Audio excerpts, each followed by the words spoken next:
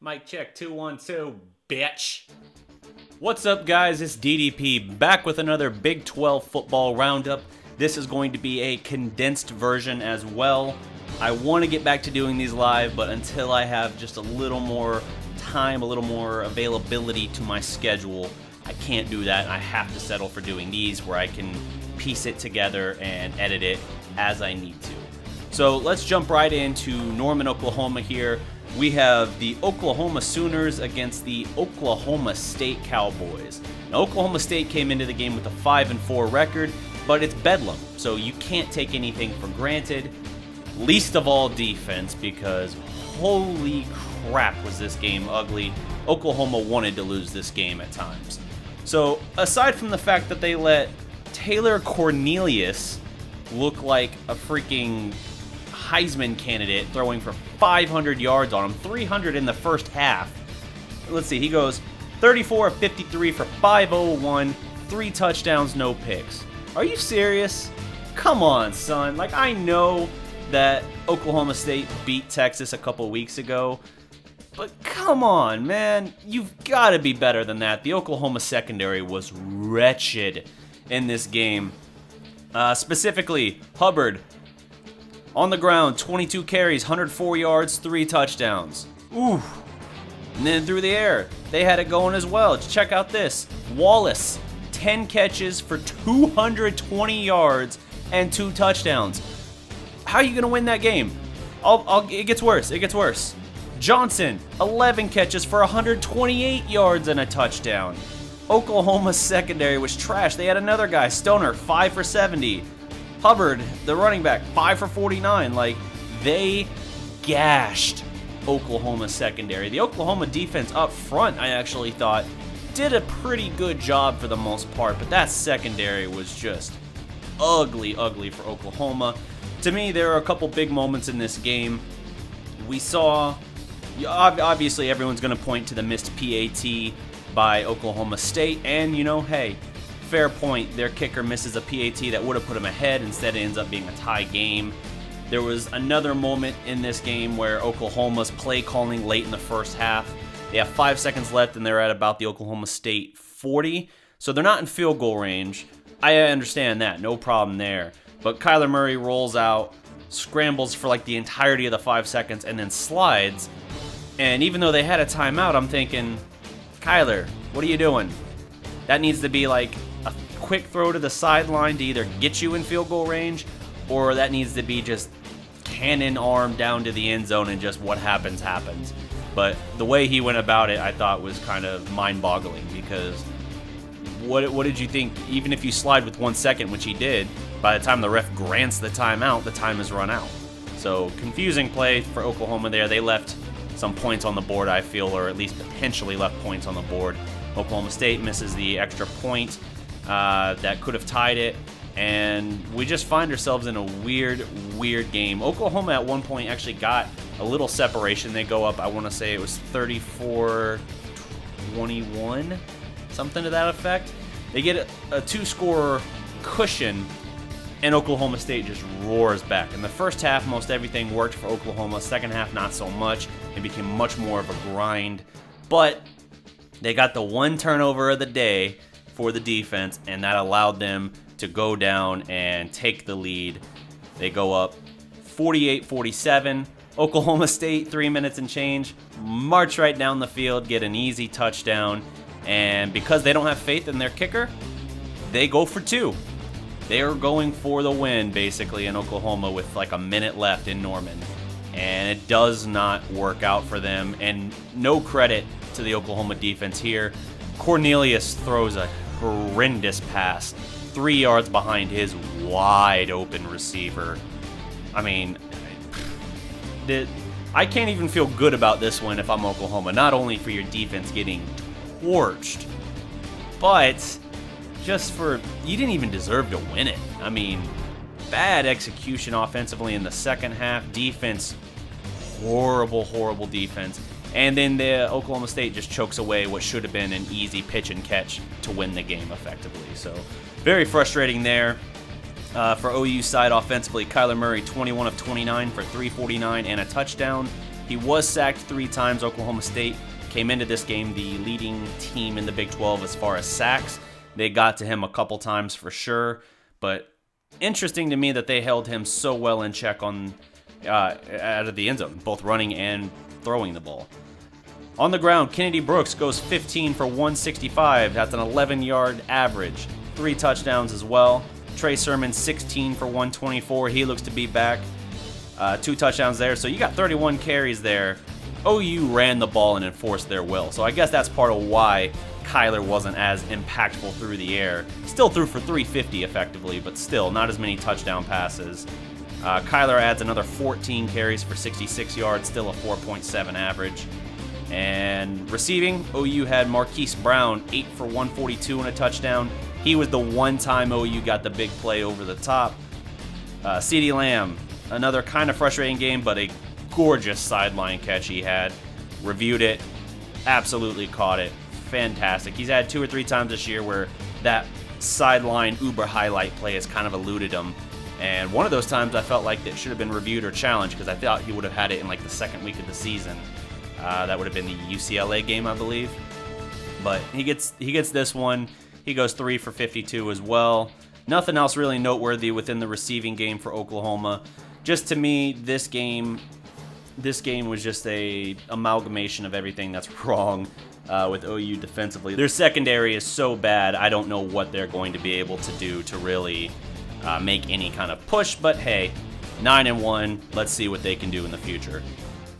Pivoting now to Lubbock, we take a look at the Texas Tech Red Raiders hosting the Texas Longhorns. This game here, it showed one that Tech is very good. Texas has been struggling. They have three losses to this point, but Tech gave them everything they wanted. Texas does escape with a 41-34 win.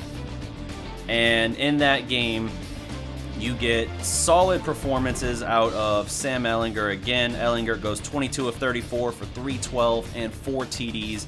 No picks. I think he only has two interceptions on the year, which is crazy. Uh, Ingram on the ground, 14 carries, 83 yards, and a touchdown. Watson, 18 for 58, not near as good, 3.2 average. Uh, Ehlinger, man, 15 carries for 14 yards, 0.9 average. That's rough. But Texas gets what they need out of the receiving game to balance it out. Eight for 159 and two touchdowns for Humphrey. Another for du Duvernay, Duvernay, sorry. Uh, another four for 66 and two touchdowns. So they get what they need there, and they're able to hold off Duffey having to make the start. No Bowman this week. He was knocked out of last week's game against Oklahoma again with, I think it's another collapse long, which is like twice this year. So they probably got to just shut him down at this point. But Duffey and his relief effort goes 37 of 47 for 444 yards, four touchdowns, and one pick. That's pretty impressive, but he's not, like, the numbers look good, but Bowman is certainly the better quarterback if they had him. Still credit to Duffey to keep them in this game, you know, a one score game at home against a team that I feel is, even though they're rated 19th in this game, Texas, I do feel that Texas is comfortably the better team. Uh, Duffey also added 17 for 80 carries, or 80 carries, 17 carries for 80 yards on the ground with a long 29. Not a lot else worked on the rushing game for Texas Tech. Ward had 10 for 41. Receiving, you got out of Wesley 8 for 171 and two touchdowns, and Vasher goes 8 for 87 and two touchdowns. So that was the real advantage for them there. Good game, good effort out of Tech, but just not enough to not enough to beat Texas. Texas still has a path potentially to the Big 12 championship game. It's looking like it's going to be Oklahoma versus West Virginia. I think maybe there is a scenario in which Texas can sneak in. Uh, I think they need either West Virginia to lose both. No. They need West Virginia to lose to Oklahoma and trip up before then, or OU to trip up and then also lose to West Virginia. Something to that effect. So one of those teams has to lose twice, and they're going to play each other once. So that's that's there. So it's still a real possibility, I believe, for Texas. Elsewhere, Iowa State at home beats Baylor 28-14. In this game, we have Brewer, the Baylor quarterback, going 26 of 36 for 288 and two touchdowns. Uh, another guy, McClendon, going 3 for 12 for 71. Interesting there. Must have been a relief effort. Uh, Brewer, receiver, or sorry, running back goes 12 for 72. Uh, Hurd, The receiver goes 5 for 81 as well. Strickland gets five catches for 67 yards and a touchdown. And Mims gets five receptions for 43 yards and a touchdown as well. Page loaded on me there. Baylor Baylor is looking like maybe they're headed in the right direction, but they're not there yet. And it's going to take some time to balance out after everything, obviously. Uh, for Iowa State, meanwhile, Purdy goes 18 of 23 for 230 and a touchdown. Pretty pretty standard stuff that there that you would ask of him. Efficient, nothing gaudy number-wise. Uh, on the ground, he also gives you 12 for 56 and a touchdown. Meanwhile, Montgomery held largely in check in this game, surprisingly. He goes 11 for 53. Uh, 4.8 average, but no touchdowns. I'm surprised he didn't get featured more. He also had three catches for 25 yards. On the ground, you also got four rushes for 18 yards and a touchdown out of Lang, so that helps them out a little bit. Through the air, leading the way was Eaton, three catches for 61 yards. Uh, Jones had four for 39 and a touchdown. Surprisingly low number out of Hakeem Butler. He goes just three for 25 in this game. So not much else to say in this game, so we'll just move on. Kansas State edges out Kansas 21-17 in the Little Apple. And this game, another one that I did not care for. I was not going to be interested in this game. Neither team is very good this year.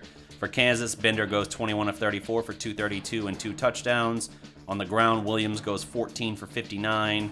Also, Herbert 10 for 53. Through the air, Kansas's one receiving threat, Sims, goes 5 for 113 and a touchdown. I know Booker also got 4 for 35 and a touchdown, but nothing electric there. For Kansas State, you had Delton going 11 of 17 for a buck 26. Uh, no, no passing touchdowns for K-State. On the ground, they got 22 for 117 and two touchdowns out of Barnes and Delton added another 16 carries for 55 yards and a touchdown. So there's something there for them. Nothing noteworthy in the receiving game. Just a low scoring, not very entertaining game against two not very good teams, although Kansas is better this year than they have been in recent years.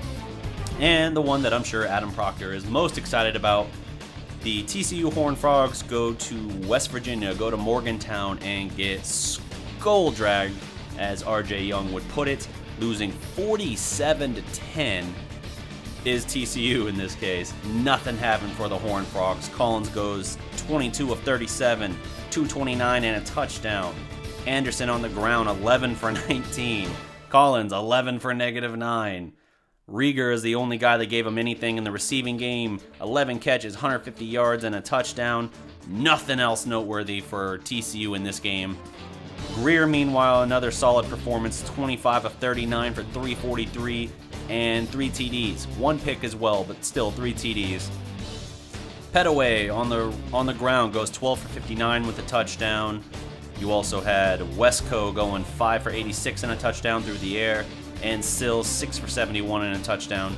Jennings also 5 for 58 and a touchdown. So West Virginia, a much better performance. Uh, they seem like they are over their stumble a couple weeks ago, or I guess three weeks ago, whenever they had their loss. And now it's really going to be interesting to see if they can keep their momentum going and we get this awesome collision course now between Oklahoma and West Virginia. Texas beat Oklahoma, West Virginia beat Texas. So it's setting up for an interesting, uh, it's not a rubber match here in this case, but it's still an interesting matchup nevertheless because I want to see if Oklahoma can be legit. West Virginia has an offense that will abuse you if you aren't careful, and Oklahoma's defense feels like it's falling apart at the worst time of year while their offense is still very good, but I would also argue the offense hasn't been dominating in the same way that it was earlier in the season. So a lot of interesting stuff. If anything, if I had to go with my gut right now, I would favor West Virginia. I'm sure Adam loves hearing that. But we'll see. We'll see for sure looking forward to next week's game. Uh, next week, some of the matchups are nah, Kansas at Oklahoma. That's not surprising. TCU at Baylor, Tech at K State. We got West Virginia at Oklahoma State. Don't sleep on Oklahoma State. Their offense is very good as well. Uh, defense, again, that defensive line will get after the quarterback as well, so keep an eye on that. And Iowa State at Texas, so that's going to be a big game for Texas as well. Uh, Iowa State is nothing to sleep on. It's just a good thing for Texas. It's in Austin. But that's all my time for this video, guys. Thank you so much for watching. I will be back hopefully next Sunday to do another one of these. If not, it'll be Monday. But until next time, that's all my time. Did I already say that? I feel like I already said that. I'll edit that out if I remember to. Uh, until next time, guys, remember every legend was once a prospect. Salute.